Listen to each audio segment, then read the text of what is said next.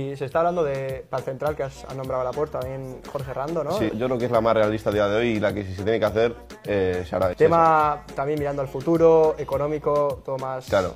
De hecho, tengo información de que Errando, ojo, eh, Eh, cámara. hay acuerdo con el jugador Ojo. eh, por parte del Athletic. Lo que no hay acuerdos con Osasuna, que no tiene intención de venderle por la posible salida de David García, a pesar de que incorporó a Catena hace poco. Así que estamos los dos Osasuna y, y eso. O sea, si viene ¿Fuente? es porque Osasuna ha, ofrecido, o sea, ha aceptado la oferta del. Athletic. Fuente, Mar Fuente Marquez Bringas.